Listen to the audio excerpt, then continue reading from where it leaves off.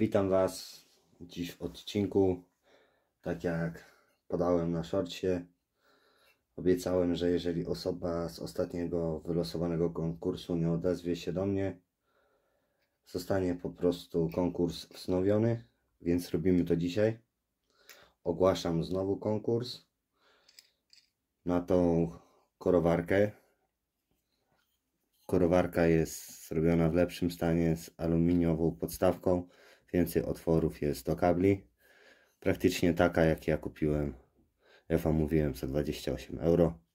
Kiedyś na internecie. Wygląda tak samo, tylko ma troszkę więcej otworów do kabli. Sprawdzona, działa.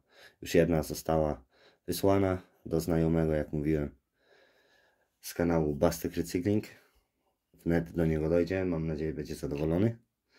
No i ta druga, którą obiecałem, czyli ta, zostanie jeszcze raz dodana do konkursu. Więc ogłaszam ten konkurs. No i zasady zróbmy takie, żeby nie było niejasności jak ostatnio, bo mówiłem, że wylosuję osobę w niedzielę o 20. No niestety musiałem troszkę prędzej wyjechać.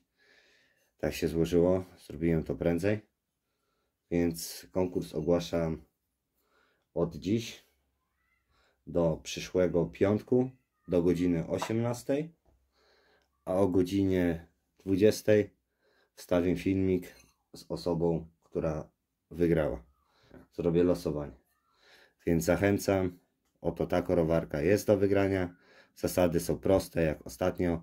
W komentarzu proszę napisać konkurs. No i proszę tylko, żeby osoby pisały jeden raz konkurs, bo właśnie widziałem, że były po dwa razy. Więc proszę tylko raz. I to byłoby wszystko. Więc czekamy. Od dziś konkurs startuje. I oto korowarka czeka na zwycięzcę. Mam nadzieję, że osoba się tym razem odezwie. No podałem tamtej osobie maila. Podałem nawet swój prywatny numer telefonu na Whatsappa. Ale niestety odzewu nie ma. Więc nagrody też nie będzie.